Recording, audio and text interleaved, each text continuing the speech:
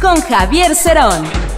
El sector obrero reaccionó un tanto inconforme por el incremento salarial que fue de más de 80 pesos debido a que las propuestas tanto del sector empresarial como las hizo la Confederación de Trabajadores de México oscilaban alrededor de entre 90 y 100 pesos. Esto de alguna manera reaccionaron no recupera el poder adquisitivo y por lo tanto la brecha entre precios y salarios sigue estando ahí y por los últimos 15 años con una pérdida de más del 150%. 80 pesos no representa nada para adquirir la canasta básica y sobre todo los analistas del sector obrero señalan que es necesario acelerar la recuperación de los salarios porque de otra manera se van rezagando y la clase trabajadora seguirá cada día más empobrecida. Esta es la reacción que se dio en el sector laboral en donde los salarios que se pagan es menos de una tercera parte de en los salarios mínimos, pero de alguna manera impacta en la mayoría de los pagos salariales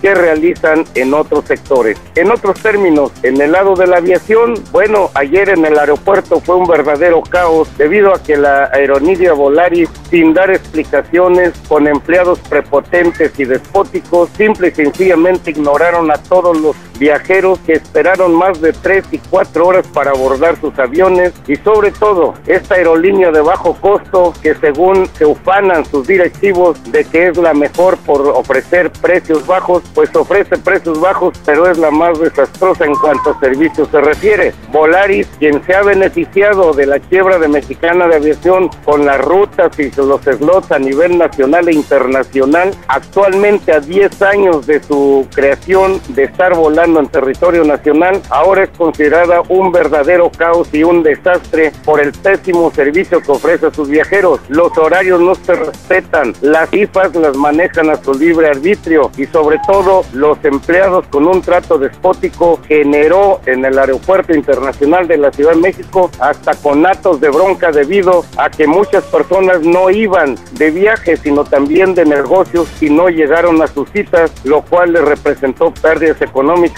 Esto, a más de 20 años de la privatización de las aerolíneas, es el reflejo de los servicios aéreos que presta una aerolínea como Volaris, que actualmente se debate entre el mal servicio y el caos. Este es el reporte laboral, informó para ustedes Javier Cerón Espinosa. Muy buenas tardes.